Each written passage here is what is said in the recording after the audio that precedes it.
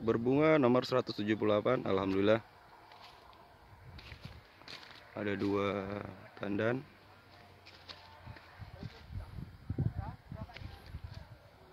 Akan kita rawat secara intensif.